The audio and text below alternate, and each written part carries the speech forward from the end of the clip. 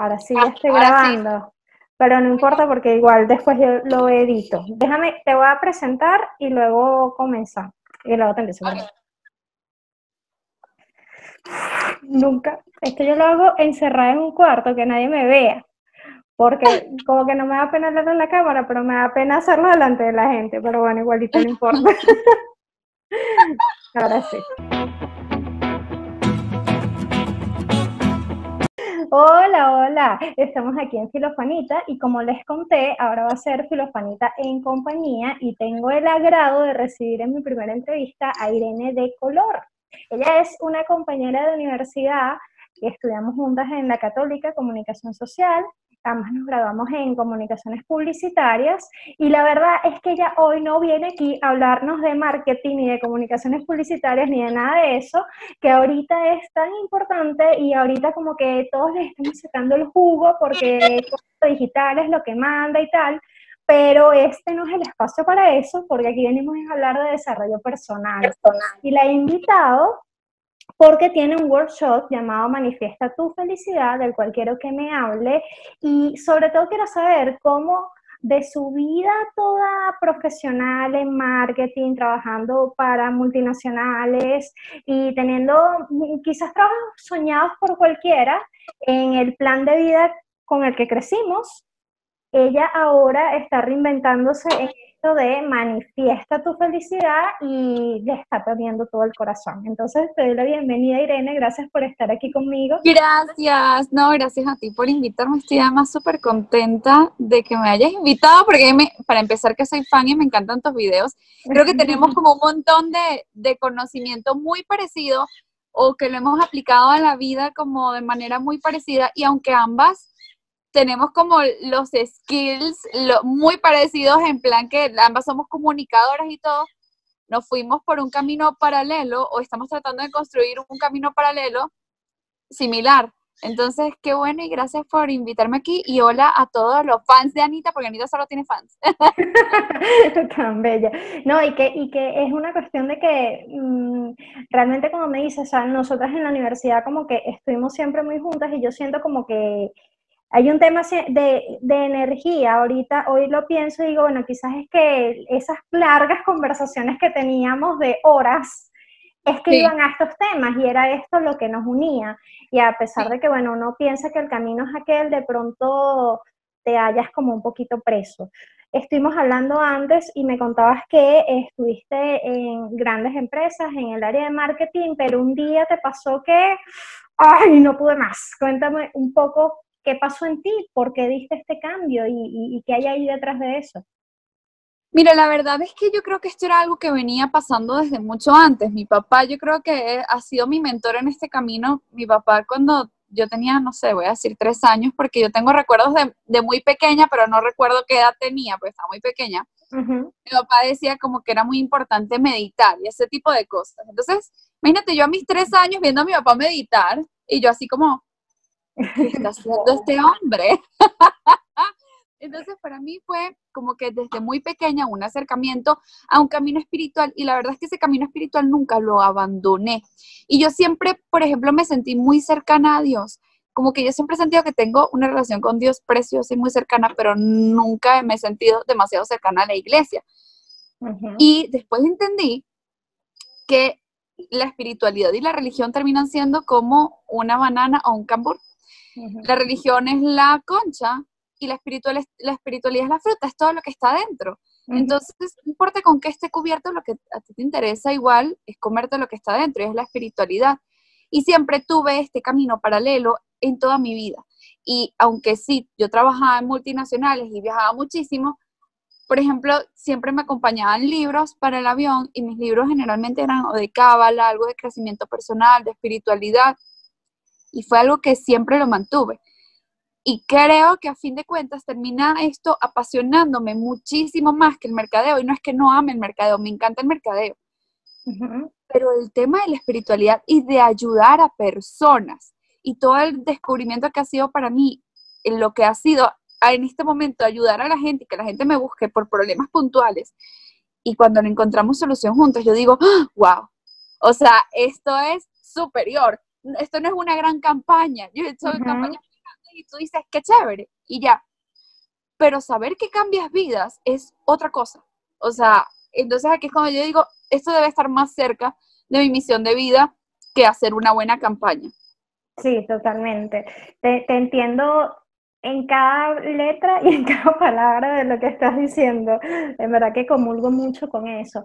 Pero entonces, eh, ¿tú dejaste por completo lo, lo, que, lo que es tu trabajo a nivel más formal en marketing? ¿Cómo lo estás compaginando? ¿Qué estás haciendo? No, mira, fíjate que creo que justamente este periodo de cuarentena fue lo que me hizo como ayudar a incubar esta idea y hacerla nacer y ahorita la estoy haciendo crecer.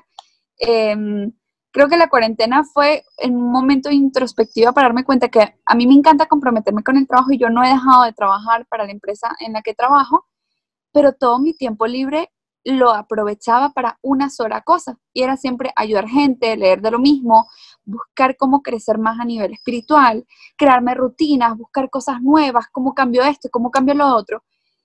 Y mientras veía en este momento que había mucha gente que sentía que el mundo se le venía abajo y que no, yo no podía más con el encierro, yo estaba como maravillada con la cuarentena.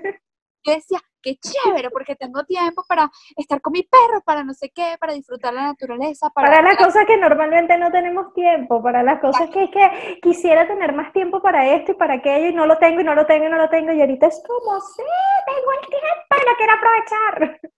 Exactamente, además que si hay algo que yo le tengo pánico es vivir en piloto automático. Y uno generalmente cuando tiene un trabajo de, oficina vive en un piloto automático porque te levantas, te bañas, no sé qué, comes, vas al trabajo, almuerzas en el trabajo, ni siquiera disfrutas esa comida, sino que sigues después trabajando y después llegas a tu casa ya cansado, a hacer la comida al día siguiente, lo que sea que tengas que hacer y a dormir. Y así pasa cinco días. Después de esos cinco días vas a agarrar un día del fin de semana para dormir porque estás muy cansado. Y el otro fin de semana lo vas a utilizar para hacer diligencias o mandados. Entonces, cuando te das cuenta, pasan los años y estuviste No, y lo peor, mira, yo cuando, cuando yo comencé a trabajar, yo pasé un año y medio sin pedirme vacaciones porque workaholic yo yo la workaholic, un año y medio sin pedirme vacaciones. Y cuando salí a vacaciones, los primeros siete o diez días fueron a hacer diligencias. Porque obviamente, si tú vives de la casa al trabajo, del trabajo a la casa, ¿en qué momento haces tus diligencias? ¿En qué momento arreglas esa cuenta del banco que no te funciona? ¿En qué momento? O sea, y son cosas que tú dices, no puede ser que la vida se me va no en lo que yo quiero, sino en lo que tengo que hacer. Entonces, no sé, para mí este, esto de la reinvención o de irse hacia lo que realmente te llena es dedicar la mayor parte de tu día, que es lo que dedicas al trabajo. Normalmente el trabajo siempre es lo que nos ocupa más tiempo en la vida, en el día y en la vida. Bueno, pero ¿qué tal si yo este trabajo lo hago en algo que me llene el alma y el espíritu y entonces no siento que es que no tengo tiempo para, para las cosas que quiero hacer? No sé si, si vas en la misma onda.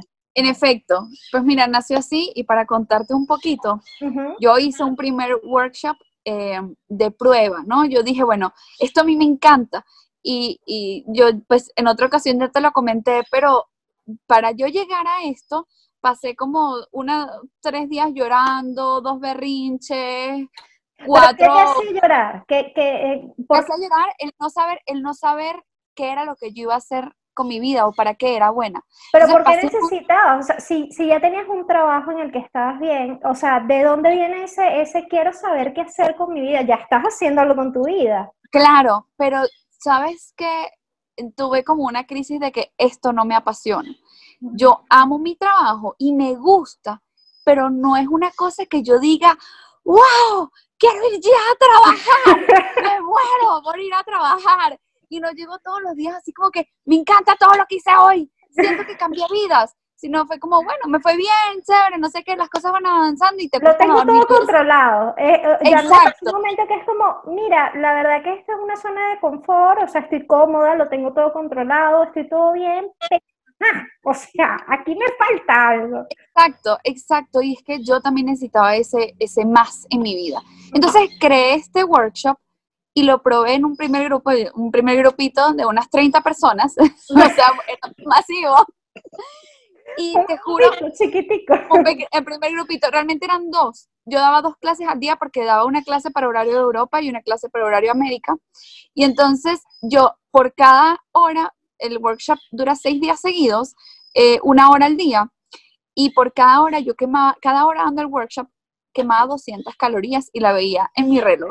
Y yo decía, ¿qué brujería es esto? O sea, ni Sasha Fitness quema 200 calorías.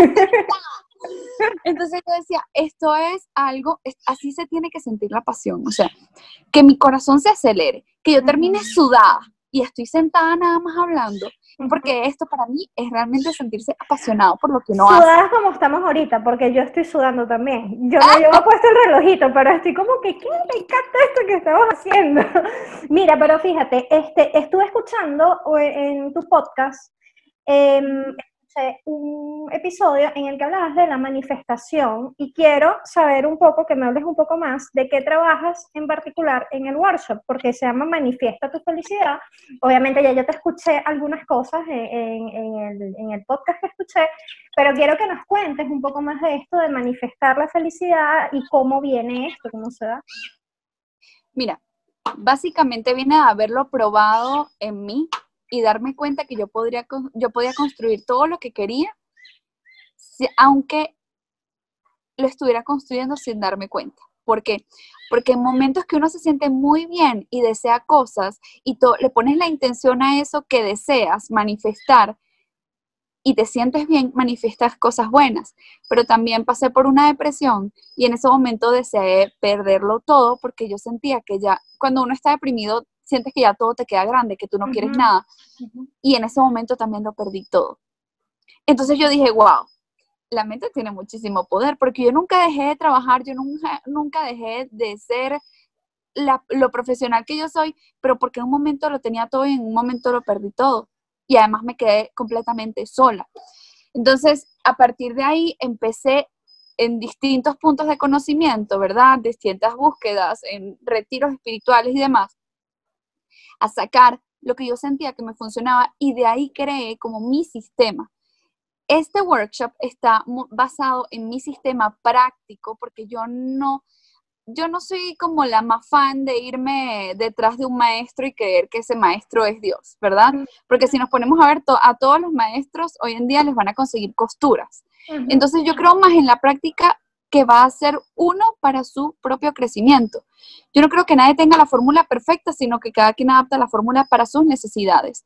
Entonces yo le muestro a las 30 personas que tenía o las que tenga en cada workshop, le mostré un, como un esquema en cómo primero hacer limpieza y eliminación en su vida de lo que no necesitan, después empezar a pulir lo que uno tiene que desear y preparar lo que yo les digo a ellos, hacer, poner, sembrar el deseo en tierra fértil.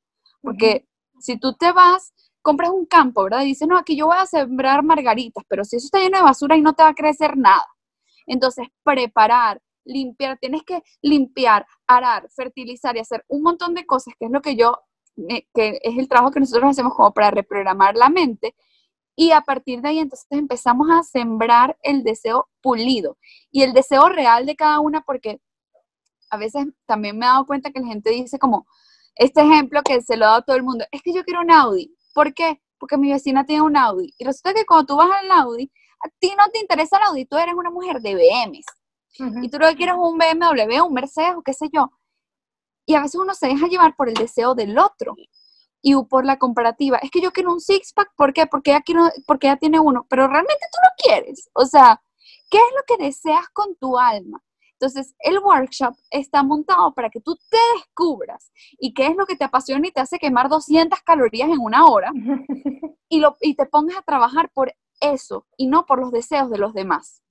Tú sabes que aquí me vienen como un montón de preguntas, pero sabes que esto de que hablas de manifestar, a mí yo siempre lo veo como una visualización o como pedir deseos al universo. Así es como yo lo he definido, pero me hablas de esto y, y va más o menos en la misma línea. Y yo he contado que en, en, una ocasión, cuando estábamos en la universidad, no sé si recuerdas que yo choqué mi carro. Sí, totalmente. Ajá, bueno.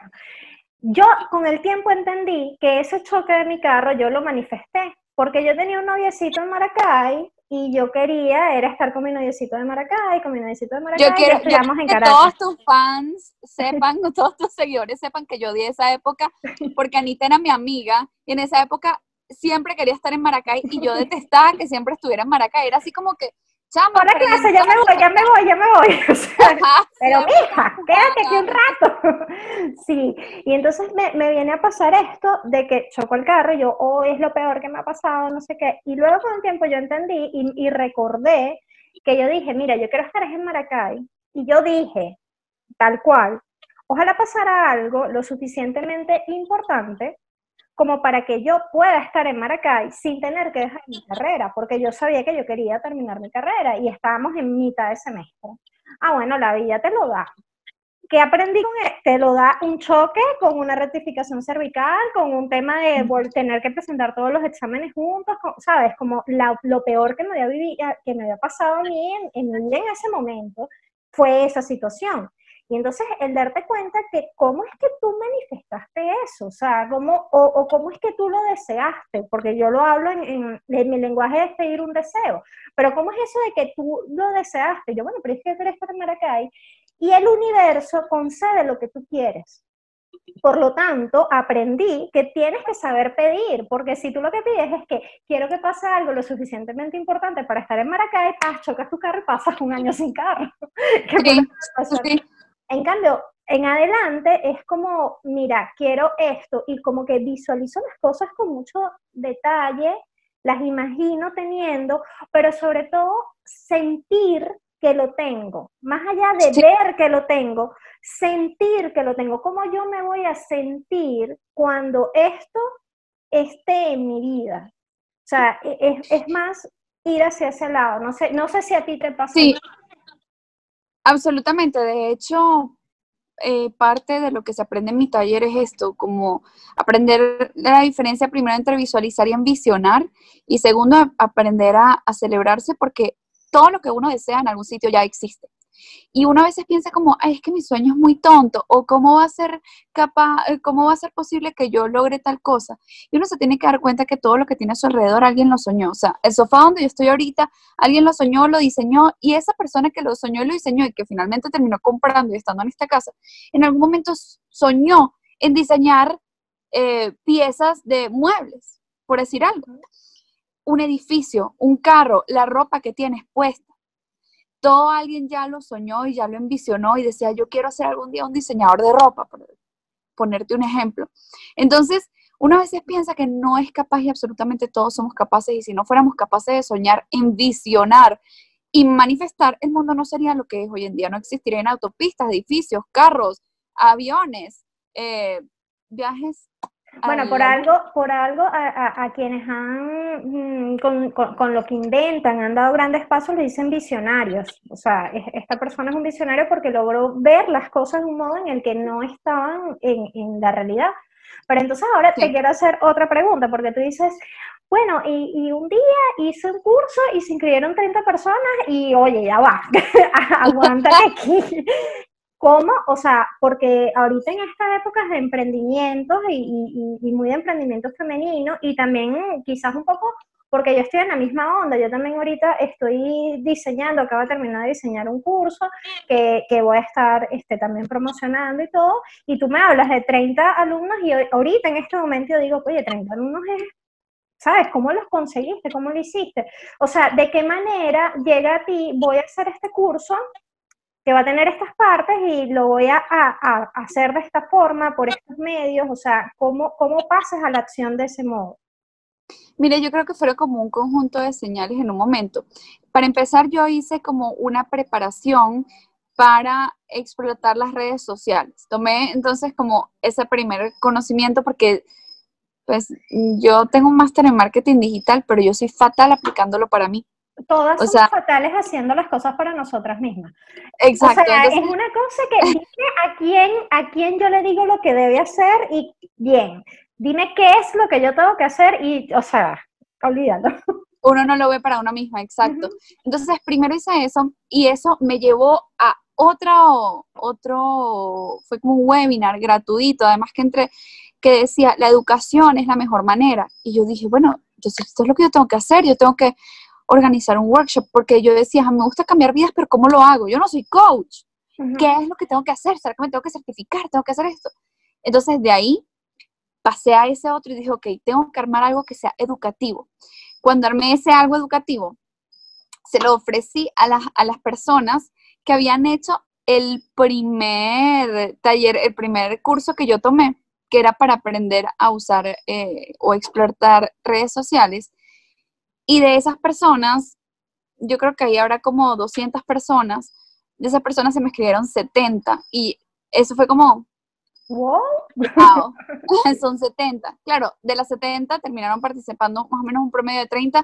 Hay personas que empezaban, iban a la primera clase, después iban a la sexta, pero sí hay que ser muy riguroso en, en, mi taller y tienen que ir los seis días en orden y hacer las tareas en orden porque si no, de verdad no funciona igual.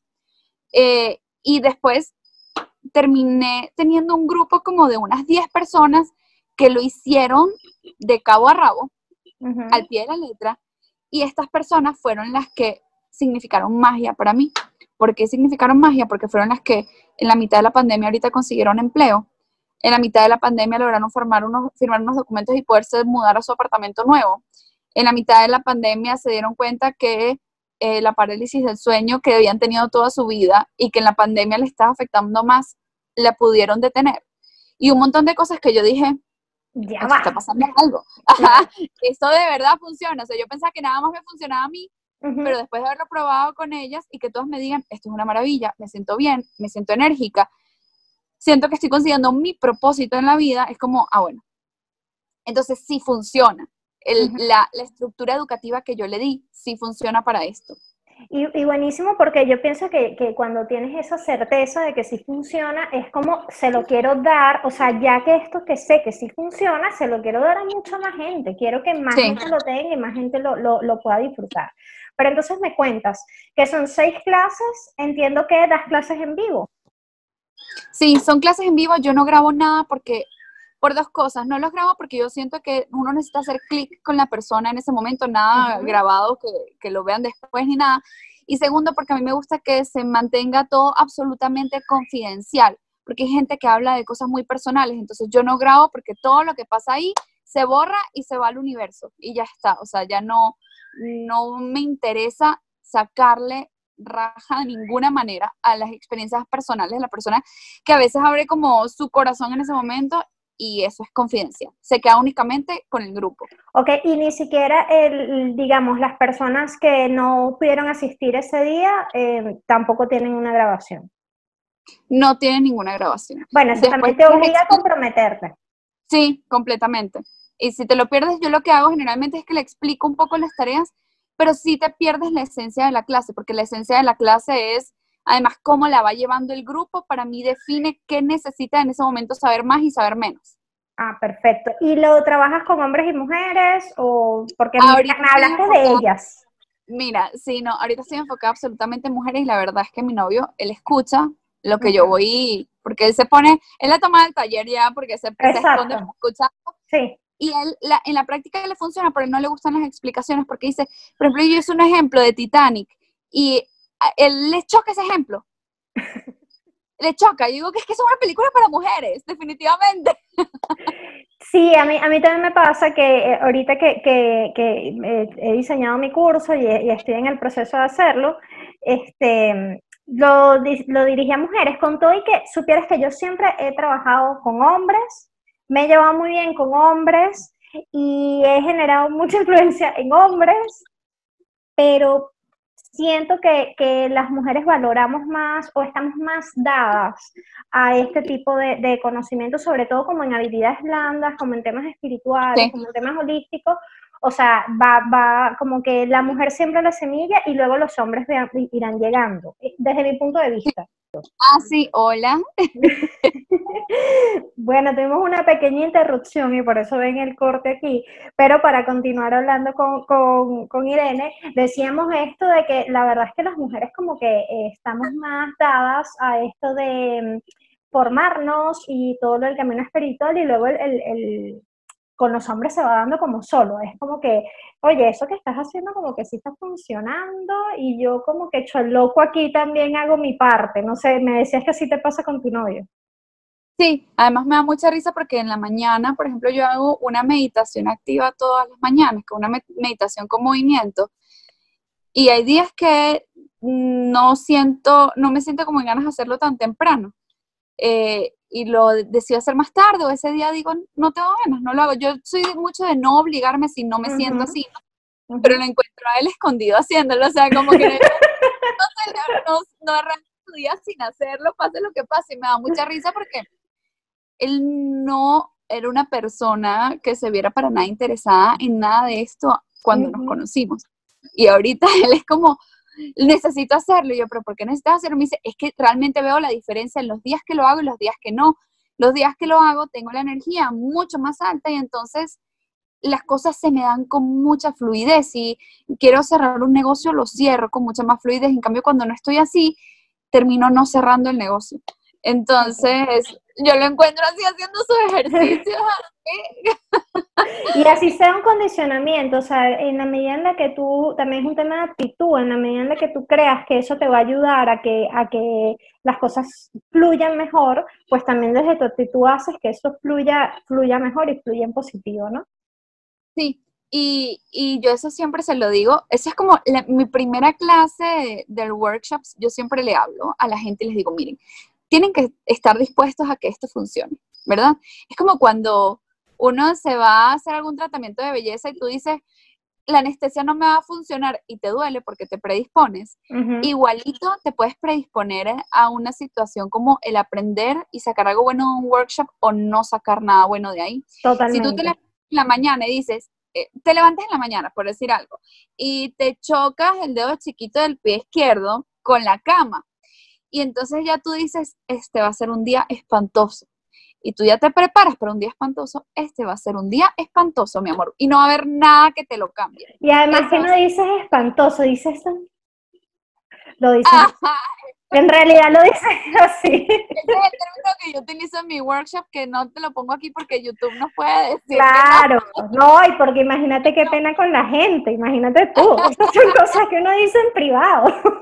Exacto, entonces eh, uno se predispone y te preparas para tener ese día. Y realmente una vez puedes prepararte, la mente se prepara para poder tener un día maravilloso. ¿Y de dónde sale todo eso? Todas las personas que son exitosas, lo que reclaman tener, lo que ellos dicen que tienen es una rutina en la mañana. Es una rutina que se conforma de distintas cosas que le funcionan a ellos. Hay gente que hace journaling en la mañana, hay gente que medita en la mañana, hay gente que hace ejercicio en la mañana, pero tienen una rutina. No tienen una rutina como las rutinas que yo soy fan de, de, YouTube y me encanta ver videos de rutinas. Y a veces de rutinas en la mañana. Veo morning routine y me meto a verlos todos. Y a veces digo, pero ¿en qué momento trabajan? O sea, porque entre que se levantan, se bañan, se secan el pelo, hacen ejercicio, hacen yoga, meditan, hacen journaling, no sé qué hace un montón de cosas que cuando, cuando terminan de hacer la rutina de la mañana y el desayuno healthy y todas las cosas, el jugo verde y todas esas cosas, yo digo, bueno, a mí ya ahí se me acabó el día, ya me tengo que ir a dormir otra vez. Claro, claro. Mira, yo te digo, yo, yo no soy, y a mí me cuesta, yo soy un poquito indisciplinada, y a mí me cuesta tener rutinas, pero si algo puedo tener de rutinas todas las mañanas, yo paso alrededor de una hora en el baño y mi novio no lo entiende, me dice que pierdo demasiado el tiempo en el baño. Pero para mí es importante, es como abrirme a lo que tengo que hacer en el día. Es verdad que es demasiado tiempo, o sea, que en verdad en una hora pudiera haber hecho ejercicio, pudiera, pero cuando yo, sin embargo, voy directo a hacer las cosas, es como no me siento en, en, en el mood, no me siento en la actitud de que las cosas fluyan, de que, de que me salgan bien. En cambio, cuando yo, mira, relajado, y lo voy haciendo y voy sacando y al final del día, al final de la semana voy viendo, mira, mis objetivos para esta semana fueron estos y en mi tiempo, aquí están, están listos, los voy haciendo y, los voy cumpliendo. Pues al final pienso que también es un tema de lo que a cada quien le funciona. Quizás pudiera ser mucho más productiva, seguro que sí, pero bueno, a mí me funciona ir a este ritmo y en este momento me está funcionando así. En otros momentos seguramente tendré que apretar muchísimo más para, para ser más productiva. Sí, pero a la larga también te pones a pensar y la productividad, la productividad depende de la etapa en la que estás viviendo. Porque, por ejemplo, si uno es mamá, la productividad es poderle dar el desayuno, el almuerzo, la cena, no sé qué, mandarlos para el colegio, vestirlos, bañarlos, no sé qué. Y mi productividad para mí es completamente distinta. Mi productividad ni siquiera es, estuve ocho horas trabajando, porque para mí eso fue súper poco productivo, estar ocho horas frente a la computadora. Para mí la productividad, hay que, hay que, creo que aterrizarse en qué significa la productividad para ti. Bueno, hoy la productividad para mí va a ser que voy a poder hacer una cosa tonta como voy a poder eh, terminar mi trabajo, ¿verdad? Que tengo que hacer, pero voy a poder dedicarle un tiempo al jardín, voy a poder, a esas tareas que realmente me llenan. Porque a veces podemos ser muy productivos en cosas que no nos van a servir para nada. Entonces, quizás en este momento, Anita, para ti, tú estás siendo lo productiva que tú necesitas ser en este momento de tu vida. Sí, y de hecho me pasa, o sea, que estoy siendo productiva y la verdad es que ahora mismo no estoy generando dinero. Necesito buscar la forma y, sé que estoy en eso, pues ya, ya ahorita tengo el tiempo acá para poder buscar trabajo, tal y qué sé yo, y sé que tengo que enfocarme a buscar un trabajo que no quiero, pero que es lo que necesito para poder seguir manteniéndome eh, económicamente. En el camino en el que sigo avanzando los pasos de donde quiero llegar. O sea, si tú tienes claro cuál es tu meta, a dónde quieres llegar, el camino se puede ir hacia los lados y puede ser necesario que tú vayas como girando, pero tú tienes claro dónde vas, siempre vas a volver a ir hacia donde tú te has propuesto ir. Por lo menos así lo veo, lo veo yo y así ha sido en, el pasado para mí. Es como, bueno, hay cosas obviamente que tú no puedes este, controlar y hay cosas que son necesarias. Obviamente generar dinero es algo necesario y si en este momento con lo que más te gusta no es con lo que más vas a generar dinero, pues tendrás que generarlo de otra manera porque es necesario para también conseguir esas cosas que, que, tienes que hacer. Para mí lo importante en todo caso es no bajar los brazos y decir, bueno, mira, la única manera de generar dinero es trabajándole a otro, que no tiene nada de malo, pero yo sé que no le quiero trabajar a otro, yo sé que me quiero trabajar a mí. O sea, yo, que, yo sé que yo quiero tener algo, algo mío. Entonces, en este momento es trabajarle a otro, en este momento lo será para que más adelante yo pueda este, poder tener ese ingreso para mí. Entonces, es lo que, lo que me hablas, pues de la productividad. Para mí, yo soy sumamente productiva en este momento en el que no estoy ganando dinero. Ahora, tú lo dices a otra persona y que ya va. No, eso no es ser productivo, pero es que cada quien tiene sus propios conceptos. Y cuando vamos un poco, cuando vamos a, a ese autoconocimiento y cuando hacemos este, conversaciones de coaching y todo este tipo de cosas, a lo que vas es, ya va, ¿qué es para ti esto y qué es para ti esto otro? Porque para nosotros podemos estar hablando de lo mismo, pero no estamos hablando de lo mismo. Porque para ti productividad es una cosa y para mí es otra. Y los dos estamos mencionando la palabra productividad, pero si yo no te pregunto a ti, ¿y para ti qué es eso? Entonces yo no sé de qué me estás hablando realmente y quizás entonces no nos entendemos y no, y no vamos a y, sí, Y productivo tiene que estar alineado absolutamente con tus sueños y tus deseos. Porque, por ejemplo, habrá gente que ser productivo es que le dio tiempo de hacer todo y además eh, hacer abdominales. Y la verdad es que habrá muchas otras que dirán, a mí no me interesa tener un six pack, así que ¿para qué voy a hacer abdominales? Ese tiempo lo voy a utilizar en otra cosa que se alinee con lo que yo quiero. Sí. Siempre, siempre ir a, a, lo que tú quieres. Me, han pasado en conversaciones que no, es que debería estar haciendo esto, pero ya va, pero eso es lo que esa persona quiere. Es que debería estar trabajando en esto, pero eso es lo que quiere hacer. O sea, porque pienso que una pérdida de tiempo es ocuparnos en hacer cosas que no van alineadas con lo que nosotros queremos, con lo que tú quieres. Si tú estás haciendo está alineado con lo que quieres, no estás perdiendo el tiempo, pero si lo que estás haciendo lo estás haciendo porque debes, porque otro te dijo, porque entonces, no, no sé, los motivos son importantes. Sí, completamente. Y la verdad es que vivimos una gran parte de nuestra vida tratando de llenar las expectativas de los demás y no las nuestras. Total. Entonces, entonces por ejemplo, eh, una de las cosas que hacemos en el workshop es definir el vision board. Y en el vision board la gente, eh, cuando empiezan a buscar las imágenes, porque yo las, las mando a buscar las imágenes desde muy temprano, empiezan a descubrirse. Desde el primer día yo les digo, empiezan a buscar sus imágenes. Entonces buscan una casa así, buscan no sé qué, buscan esto, buscan lo otro. Y digo, eso es lo que tú quieres. Bueno, esta sí, pero es que la casa que yo quiero no la quiero así. Bueno, entonces rompe esa, la tiras y busca la que tú quieres. Porque, por ejemplo, una chica me decía, yo elegí una casa muy parecida, ella vive en una, vive en Estados Unidos, en una zona como con casas típicas americanas, y me decía, es que las casas aquí son así, entonces yo busqué una así, pero es que a mí no me gusta, digo, entonces, ¿para qué vas a desear esa casa? Para llenar las expectativas de tus vecinos, no, usted tiene que llenar las expectativas propias. Y si lo que tiene que moverse, es que si son las, las casas de clase media, y usted quiere una casa de ricos y famosos, usted lo que tiene que hacer es buscar una casa en el vecindario de los ricos y famosos y ya está. Sí. Nosotros nos ponemos un montón de límites, de expectativas y, y de metas. Pues el problema es que uno siempre habla de metas, de que quiero pesar tanto, de que quiero hacer tanto, que me quiero graduar en esto y que no sé qué. Pero esos no son sueños. Los sueños son completamente distintos. Es como llegas a esa realización que te hace a ti ser feliz, a ti, no que, no, o, no que le colgaste el título en la pared a tu papá, que eso es clásico, clásico de, yo estudié contaduría porque mi papá quería, mi papá es contador y entonces yo le colgué el título y me fui a bailar, por decir algo. Y es, ajá, bueno, ahora tu papá es feliz. ¿Y tú cuándo vas a ser feliz? Cuando uno va a dejar de llenar las expectativas de los demás y se va a poner a uno en primer lugar.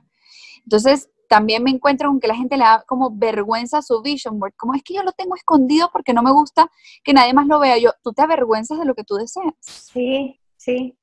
Sí, y que... Y, el sabes, y sabes que, que, siento que, que, el gran valor de hacerlo en un curso y de escuchar, esa, em, escuchar eso, ese tú te avergüenzas de esto, es el hecho de que mm, mm, si no estamos en un curso y si no se nos pide hacerlo, quizás nosotros por la propia nunca lo vamos a hacer, porque digamos, no, no porque seamos autómatas y necesitamos que alguien nos diga para hacer las cosas, sino que a veces ni siquiera nos damos cuenta que no sabemos a dónde queremos ir. No me doy cuenta que no tengo claro lo que me gusta y lo que no me gusta. No me doy cuenta que hago las cosas por complacer a mi mamá o a mi papá o a mi novio o a mi vecino. No me doy cuenta. O sea, realmente no es que, porque una cosa es que tú digas, oye, qué mal que yo no logro, o sea, yo todo el tiempo mi mamá me tiene, me tiene pisada y yo tengo que complacerla. Esa es una mala situación. Pero yo pienso que incluso nos sucede con frecuencia que ni siquiera me doy cuenta que es mi mamá la que me está diciendo, hoy, la que me está diciendo que haga o no haga algo o que yo estoy tratando de complacerla a ella. Entonces, la gran oportunidad que veo con, hacer un curso como el que estás proponiendo es ese sentarte a, ya va, esto se trata de mí. ¿Y qué es lo que quiero yo realmente? Exactamente. No la expectativa fuera, sino qué es lo que yo quiero y darte ese espacio y ese tiempo pues para, para, para conocerte, en definitiva. Sí, y tengo, tengo mucha gente que me escribe como en privado como que es que yo deseo esto. Por ejemplo, alguien que quiera un embarazo que quiere ser mamá, digamos, pero es que mi pareja no está en esa línea. Yo digo, bueno, quizás es que el problema no es que cambies tu embarazo, sino tu pareja.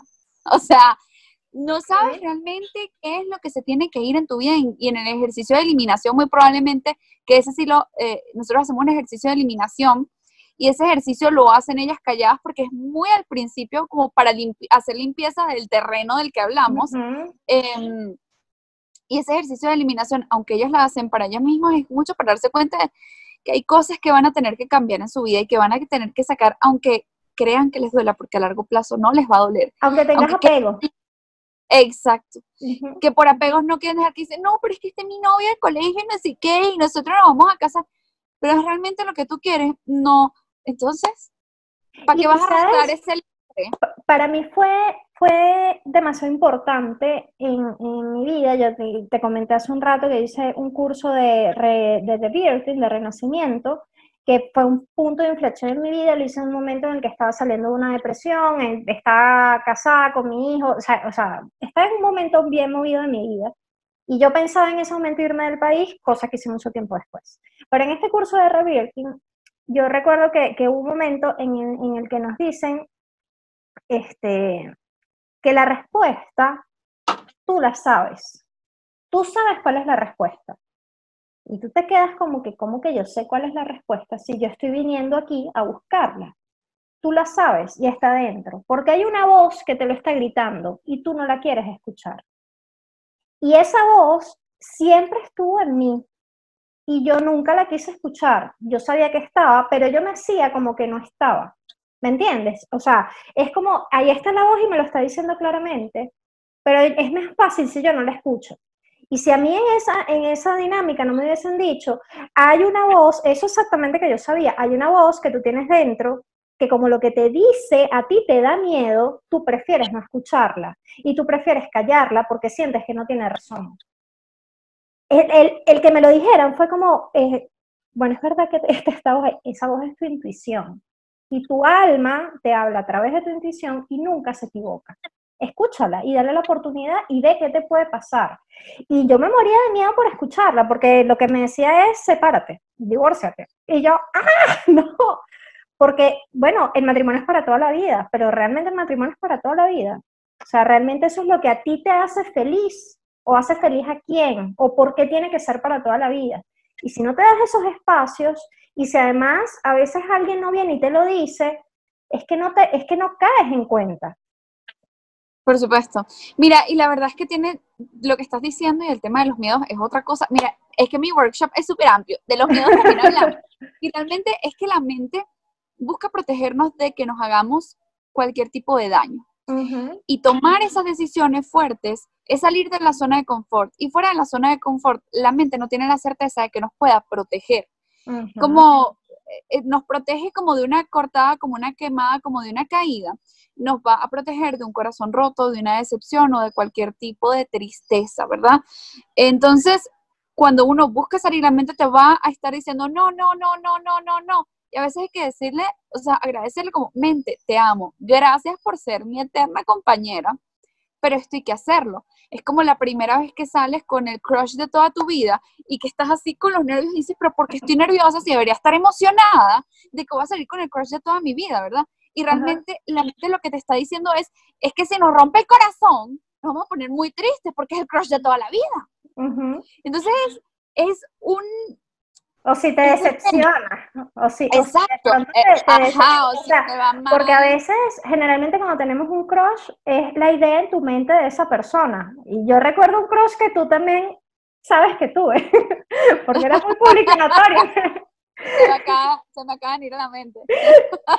y es como, sabes, tú lo idolatras y entonces está en este podio y es esta persona que quizás en este caso era mayor que tú y todas estas cosas, y lo idolatras.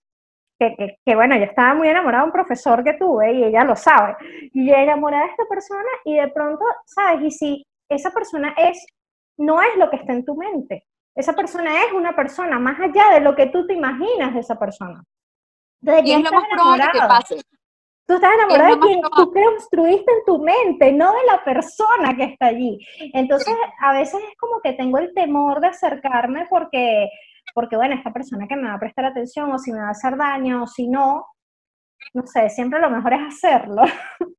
Sí, sí, sí, sí, totalmente. Y aparte, uno se tiende a enamorar a cosas que, de cosas que no son la persona. O sea, uno se enamora del potencial de una persona, de las, de las expectativas que tiene sobre esa persona, y muy pocas veces te terminas enamorando de la persona en sí que realmente es. Entonces, y ahí es donde, ahí surgen unas amistades bellísimas. donde dices, bueno, o sea, eres fastidiosísimo, pero te quiero porque eres mi amigo. Pero de verdad, mira, ya estuve, estuve tan enamorada de ti, que de verdad te tengo cariño, ¿vale? Siento mucho cariño por ti. Sí, no, totalmente, totalmente. Y, y, mire, yo, especialista en enamorarme sola y de mi mente, bueno, han sido mis mayores amores, han sido todos aquí. Pero bueno, son cosas que uno va al final va, va mejorando. Mira, me encanta realmente todos los temas que me dices que abordas en este workshop. me, me, parece genial. Ahora tengo la duda un poco cómo lo haces, si lo haces por WhatsApp, si se reúnen por, por Zoom, si tienes un grupo de Facebook, más o menos cómo lo, lo, lo llevas.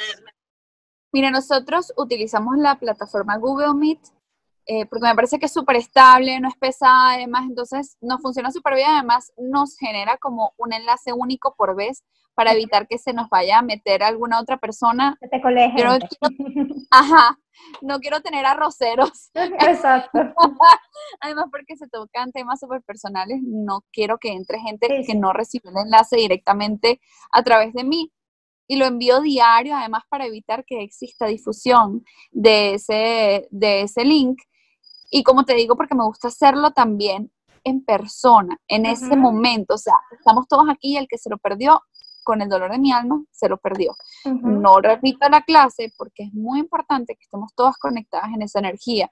Ayer empezamos un workshop en un grupo nuevo. Este grupo es más pequeño, es de cuatro personas porque lo puse en horario de América, pero tarde. Entonces, bueno, eso hace que la gente de Europa definitivamente se tuviera que preparar para el próximo, que dije, bueno, el próximo ya no voy a hacer dos al día porque en un momento hacía dos al día y terminaba agotadísima, agotada, o sea, eran 400 calorías de workshop además, Y, más allá de las calorías, es que energéticamente te consume mucho, porque tú estás poniendo de tu energía vital y, de, y de tu más amplio corazón allí, oye, te quedas que no puedo con mi alma. Sí, y yo hago un seguimiento durante esos seis días, yo hago seguimiento puntual de cada una de ellas porque todas me terminan apareciendo con problemas puntuales para trabajar. Entonces tengo que saber nombres, que además yo soy fatal con los nombres, tengo que saber el nombre de cada una, el caso de cada una y ellas tienen durante esos seis días acceso ilimitado a hacerme preguntas. Si bien nada más tenemos una hora de llamada durante el día. Si me quieren chatear todo el día, yo todo el día les voy a estar respondiendo en lo que necesitan trabajar. Y después de que terminamos estos seis días, yo les dejo una gran tarea que es hacer su vision board y vamos a tener una, como un happy hour o un reencuentro a las tres semanas exactas de haber terminado el workshop para ver cómo van con el vision board y cómo van con sus manifestaciones. Y la verdad es que la mayoría, las que de verdad hacen las cosas como tienen que ser, las personas como tienen que ser, terminan manifestando a partir del cuarto, quinto día, ya empiezan a haber cambios importantes, no solamente en su actitud, sino en las cosas como eh, tenía mucho miedo a hacer esto, pero me lancé y resulta que tuve excelentes resultados o mm, eh, conseguí el dinero para poderme inscribir en el curso que quería y ni siquiera sé cómo lo conseguí, me logré mudar, me logré hacer esto, me compré el carro, cosas que nada más era como que, lo, que le falta es un empujoncito para que manifiesten. Porque la manifestación no es nada más que eso, es solamente ya decir, bueno, ya lo puedo recibir. Sí. Es estar preparado para recibir las bendiciones que, del universo que uno quiere. Y, y, además pedir, em, manifestar también, o sea, dibujar de verdad qué es lo que quieres. Porque de pronto, bueno, sí, quiero esto, pero no es lo mismo verbalizar, no es lo mismo decir de manera como bien concreta quiero esto, quiero aquello, e, es, distinta la forma en la que el universo lo entiende para ti. Una vez en, un, en un masterclass vi, el universo siempre te hace caso, lo que pasa es que él tiene su tiempo para dos cosas. Porque si tú de repente pides un elefante, el elefante te cae encima. Si el universo fuese más rápido, el elefante te cae encima y te mata. Y lo segundo es que el universo tiene que verificar si tú de verdad quieres ese elefante. Entonces, no traer a la vida cualquier cosa que pidas. No, y ¿sabes qué pasa? Incluso en el Kabbalah hablan eh, la importancia de que una semilla se mantenga bajo tierra por mucho tiempo, para que esa semilla sea, se convierta en una planta fuerte. Y cuando es una planta fuerte, entonces puede salir y decir, hola mundo, aquí estoy, soy una planta. Pero una vez cree, siembra una semilla, que es el deseo, ¿verdad? Que lo lanza el universo. Y como inmediatamente no será una planta, uno dice, ah, el universo no sirve para nada no duras lo suficiente ahí. La típica imagen del que está cavando y tiene el diamante y se va justo antes de conseguir el diamante. Justo antes, exactamente. Ok, eso es una típica prueba que nos pone el universo, o Dios, o Alá, o quien sea que, que creamos En lo que tú quieras creer. Es, claro, mantener, mantener la fe siempre. Tú tienes que mantener tu fe intacta, porque el día de pago está en la vuelta. O sea, el día que a ti te toca recibir tu, tu bendición está justamente cuando ya tú pienses que en el momento de perder toda la fe, en ese momento vas a recibir tus bendiciones. Pero todo lo que pasa antes son sencillamente una prueba de certeza de conocer que tú realmente lo deseas. Sí. Que eso es lo que quieres. Y como yo te digo que no lo estás deseando por compararte con alguien o porque alguien ya lo tuvo, porque es lo que a ti te corresponde. Y a veces teniendo esa misma certeza terminas recibiendo mejor que lo que deseaste en un principio. Totalmente. Que tú dices, bueno, un carrito pero usado y te terminas comprando el carro de agencia como tú querías, personalizado, que no sé qué. Y dices, wow, logré esto. Y ni siquiera sé cómo lo logré. Y es como lo lograste con tu poder y porque el universo estaba confiado en que te lo quería dar. Pero el universo a veces también te pide sueña en grande. Porque el, para el universo ya hay algo muy importante. Para el universo no existe ni uno ni cien. Para el universo solamente existe. Entonces, para él no hay diferencia entre la persona que quiere ganar 10 mil o 100 mil al mes. Es la persona que quiere ganar. Después tú tallas ese tamaño. Entonces, obviamente, yo siempre le voy a apuntar al 100 mil, porque si de cierta manera no recibo los 100 mil, pues quizás recibo 80 o 50. Pero si yo pido 10, quizás recibo 5. Puede que reciba 12. Sí, y a veces siempre hay que votar muy alto. A veces yo siento que ahí cuando nos quedamos cortos también es un tema de merecimiento, que no sentimos que lo merecemos. Y, ese también es, un tema mm, e, es un área fuerte a trabajar en, nosotros mismos, el tema de, entender que tú sí mereces esas cosas que sueñas y esas cosas, en particular yo, yo he tenido que trabajar mucho el merecimiento para, poder superar cosas que, que, viví antes. Mira, ya estamos como, como sobre la hora porque sé que tienes otra llamada de trabajo. Encadenada. De tu trabajo como normal. No, es que por mí como que hago otra entrevista más adelante otra vez. Seguramente si sacas otro workshop más adelante, cualquier cosa que quieras conversar aquí, yo voy a estar aquí para que volvamos a hablar. Bueno, probablemente lo voy a estar haciendo como, voy a intentar que sean como cada 15 días como para tener una semana fuerte y una semana un poco más para también atender y, que yo me meto demasiado en los casos de cada uno y los vivo.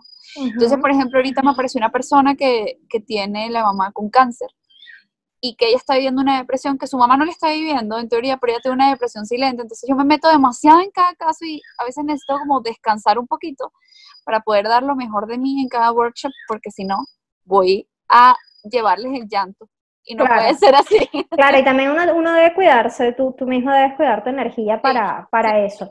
Quiero que me cuentes por dónde te pueden encontrar, dónde te buscan y, si gustas, bueno, cuándo es el próximo workshop, me dijiste que acabas de comenzar uno, cuándo va a ser el siguiente y más o menos cuál es el costo y todo esto.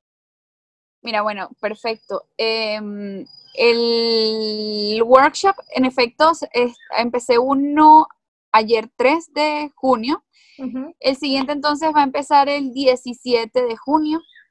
Ok, voy a ver si va a dar chance de que se inscriban en ese, porque este, esta entrevista va a salir en una semana, va a salir el 11, entonces cuando vean esta entrevista van a tener tiempo para comenzar el siguiente workshop del 16. 16, Perfecto. Sí, Ok. El 16, miércoles 16. No, 17, 17. 17. que sí, sí, pero no, el 17. Ok. okay. Eh, el workshop tiene un costo de 99 dólares, pero les vamos a dejar un cupón de descuento allá abajito de filofanita. Okay. Que tengan 40% de descuento para aplicarlo en el workshop.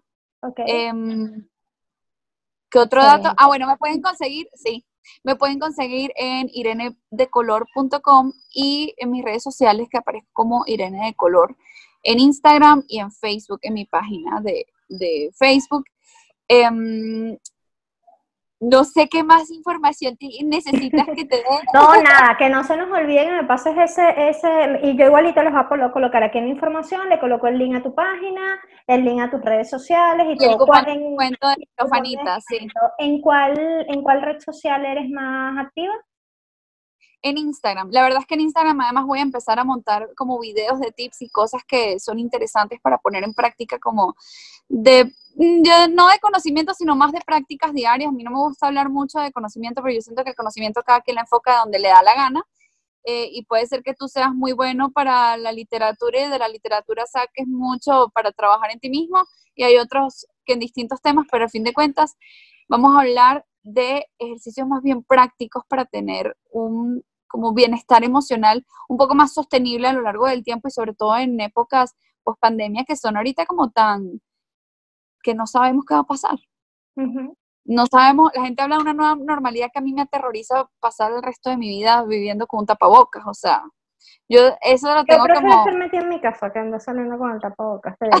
a mí no, o sea, a mí no me ha pegado mucho esto de estar en casa y de trabajar en casa y mm, nada que ver, no me ha pegado mucho para mí. Pero bueno, no pasa nada. Hasta aquí llegamos con la entrevista de Irene. Como saben, les voy a dejar acá abajo todo lo que son eh, su página web, sus redes sociales, el cupón de descuento de 40% que no se pueden perder y que van a tener tiempo de poder disfrutar porque su próximo workshop, ¿en qué horario lo vas a hacer el próximo? El próximo muy probablemente lo voy a hacer para el horario europeo, que es a las 9 de la noche de Madrid. 9 de la noche de Madrid, perfecto. Entonces, para las 9 de la noche de Madrid, que es todavía en la tarde en América, este va a ser su próximo workshop comenzando el 17 de junio y no se lo pueden perder, por acá abajo les va a dejar todo.